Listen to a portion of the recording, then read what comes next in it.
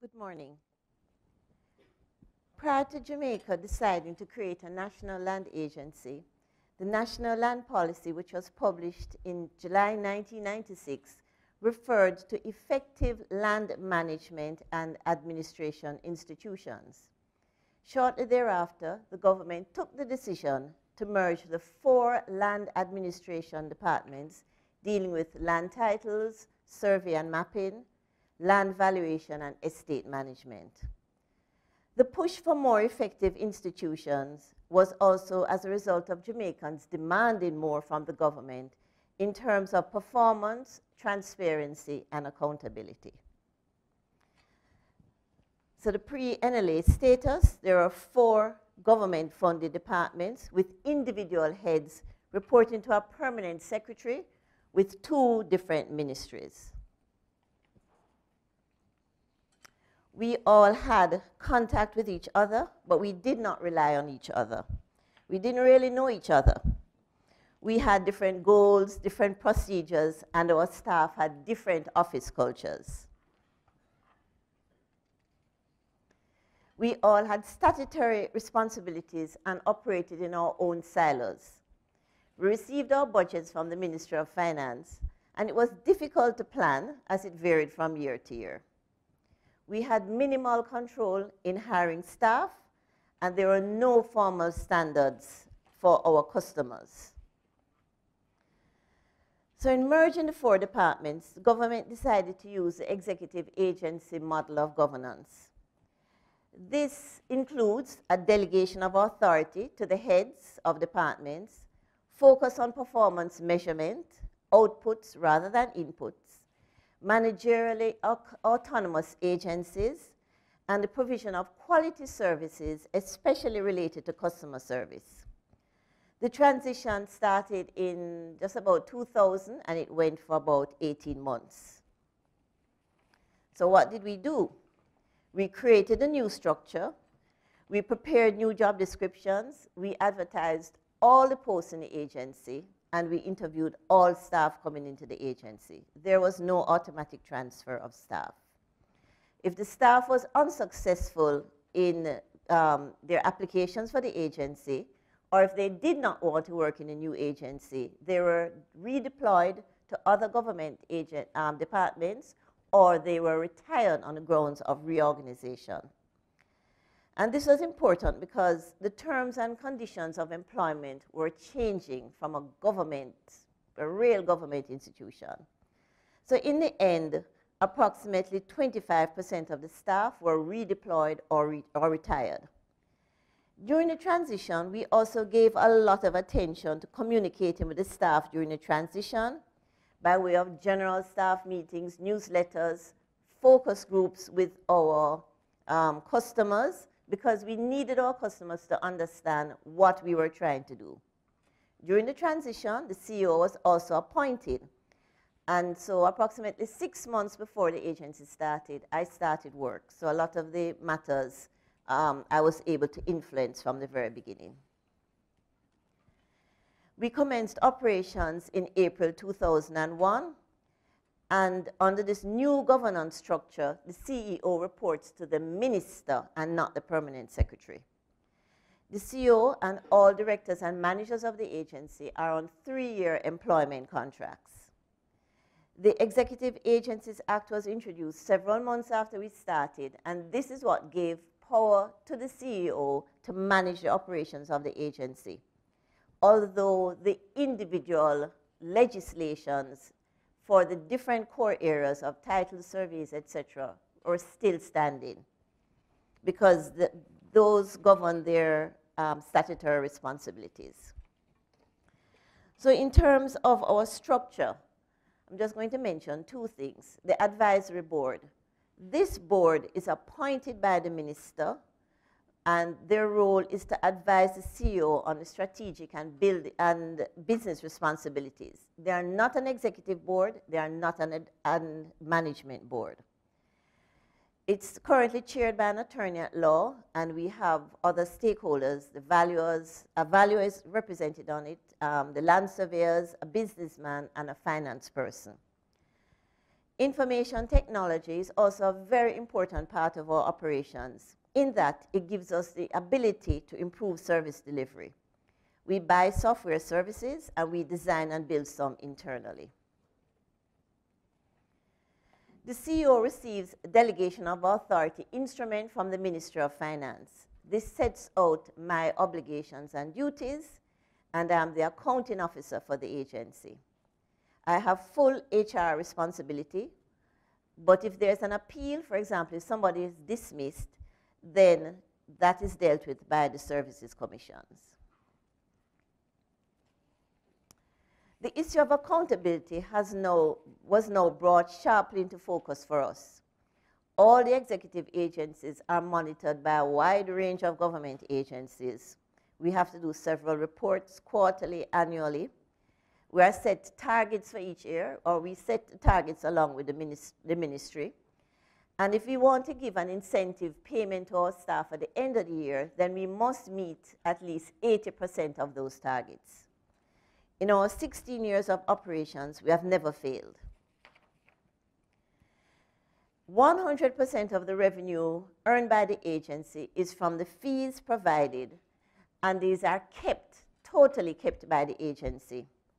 Each year, we have to give the Ministry of Finance our projections for revenue. If we earn more than those projections, we keep 50%, and 50% is given back to the, is given to the Ministry of Finance. In some cases, we can apply to keep the full amount over our budget. The 90% of the fees are actually earned by the land registry, which we call the titles office. We also enhanced our revenues by creating new services, and as, this was as a result of the merged databases. We also divest lands for government by sale or lease.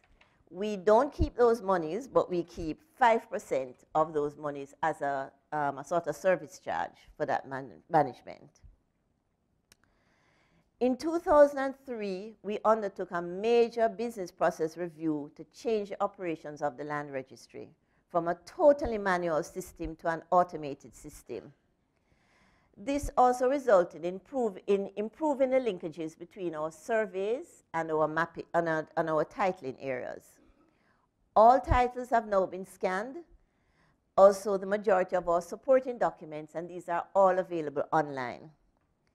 The documents are ele electronically signed, so that helps to improve the turnaround times for the process. We now have approximately 600,000 titles in the registry, plus the original documents, which includes transfers, mortgage documents, birth, marriage, death certificates, so we still have to maintain hard copies of those documents, even though we have them all online. So as you can imagine, storage is a major asset issue. There's a document tracking um, system which allows persons to go online to see how long it will take for their documents to be completed and when it will be completed because we found that people kept on calling the office. We have online forms where they can go online and complete the forms print them, and present them to our office along with their supporting documentation. We offer a subscription service for something called Property Watch, where we can warn you if there is some kind of activity against your property. And most importantly, we designed a fee calculator so you don't have to call us to find out how much should you pay. You don't need to come and line up in the office to find out how much you should pay. Um, so that helped a lot with our customer service. I've highlighted just three services and tracked their delivery times. And you'll see that it's pre-2001, um, as at December 2016, and um, in 2008-9, about eight years after the agency started. Generally, there has been a marked improvement in turnaround time of the services provided, some matters we can do in 24 hours, some matters, and that's at an, at an additional cost, and some matters we do for two days, in two days, but at no additional cost. In November 2001, when we were going through the major changes of creating the agency and putting it in place, the customer service index, which was measured by an outside person, was 2 point, outside persons, was 2.9 out of 10. When we looked at it again in, May, in March 2005, it had increased to 8.1 out of 10. The merger allowed us to create new services because of the huge amount of data now available in one place. So our eLand Jamaica service is an online service. It's a paid service where you can look at your title or the supporting documents or the plans and you can print them at your leisure. Whereas the IMAP Jamaica is a free service and it's really maps. So you can look at the maps to see, to search by street name, community names, coordinates, etc. We're currently working on having those two services mobile enabled.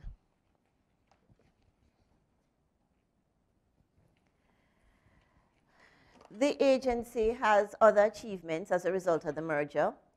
And one of those things is the map um, products that we can now produce. So we have, we can map anything. Anything you want us to map, we will do it.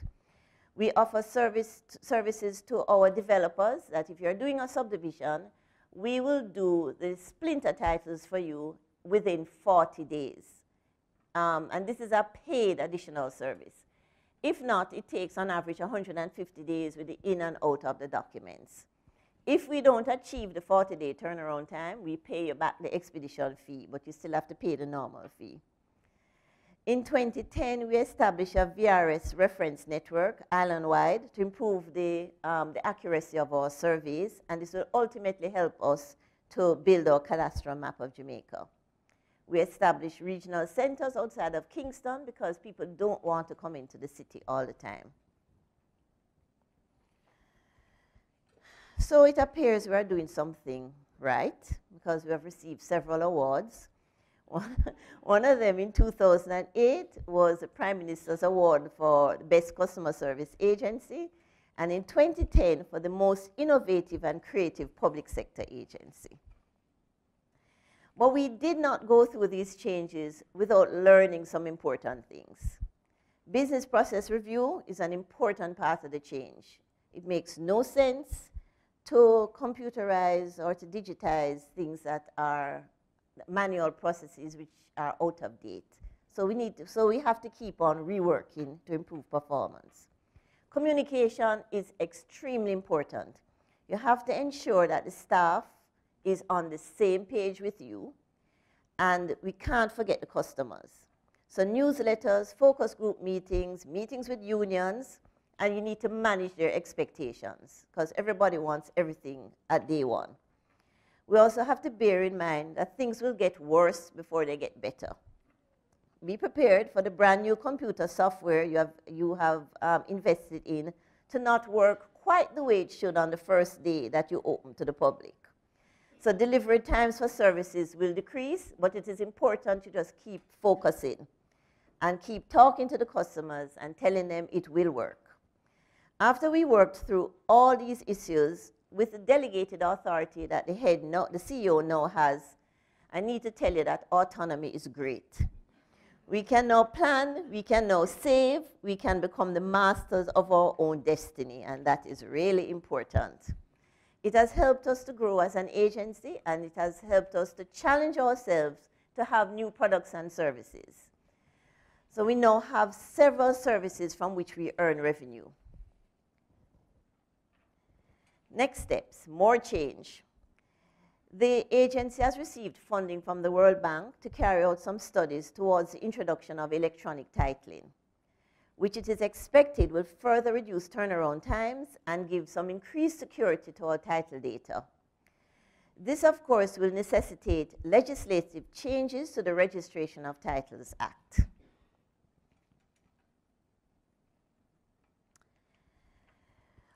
we found that the traditional separation of agencies may have had administrative convenience, but it led to duplication of functions, a loss in the value of information, and longer turnaround times to produce services.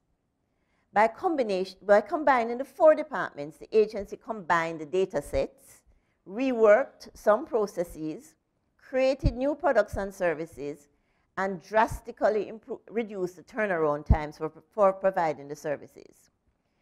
We regularly have focus group meetings with our customers and review our business processes with a view to reducing turnaround times. And just as a side note, the, our, um, our customers, the most difficult ones, we try to ensure that they are on the, on the focus group meeting so that they are a part of the process. We realize that the need to provide quality service to our customers will continue to drive the process of improvement. Our, our motto, one agency, one goal, this was as a result of the need to let the staff understand that we're no longer working in silos. We're all working together for one goal. I thank you.